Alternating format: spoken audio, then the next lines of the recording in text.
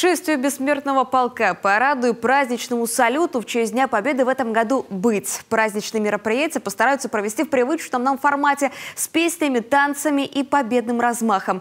Но дабы обезопасить наших последних героев, чувствовать их будут все же на дому. Без внимания ни в коем случае не оставят. О том, что уже сделано к великому празднику и что только предстоит, расскажет Дарья Волокжанина.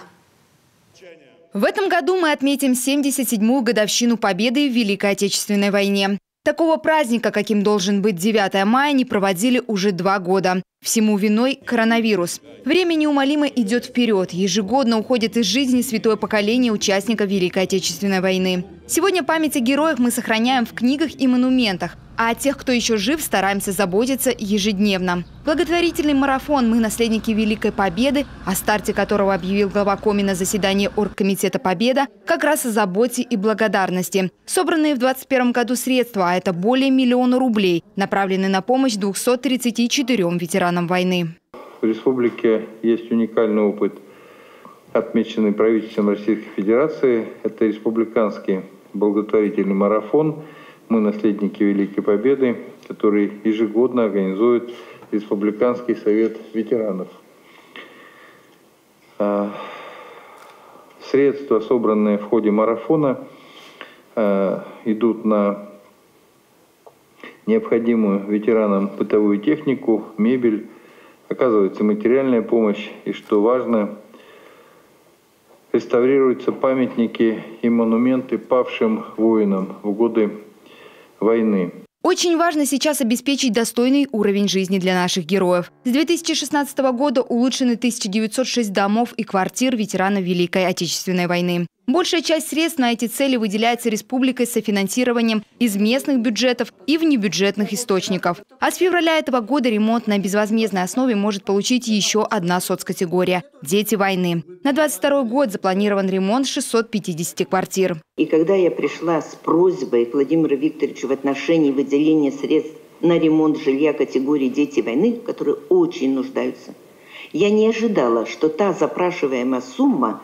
100 миллионов – она будет выдана нам. И решено положительно. Мы сегодня получили 112 миллионов рублей для того, чтобы ремонтировать жилье детям войны. И дети войны не будут платить за это даже подоходный налог. Средства в бюджете на эти цели также нашлись. Бесплатное социальное обслуживание на дому тружеников тыла, узников фашистских лагерей и жителей блокадного Ленинграда – еще один важный шаг, который сделала республика за этот год. Услуга стала доступна с 1 января 2022 года. Теперь немного о здоровье. Ежегодно оздоровление в госпиталях и санаториях получают сотни ветеранов. Только в социально-оздоровительном центре Максаковка лечение прошли 178 героев. С этого года право лечиться в госпитале получили и последние свидетели войны. Опять же, дети. Помимо путевок увеличили и льготные выплаты. Министерством проработан вопрос увеличения размера республиканской денежной выплаты для граждан категории труженики тыла с 1 тысячи рублей до 3 тысяч рублей на постоянной основе. В республиканском плане мероприятий также будет предусмотрена выплата ко Дню Победы для граждан категории «Дети войны». С 2020 года ее размер увеличен с 1 тысячи до 3 тысяч рублей.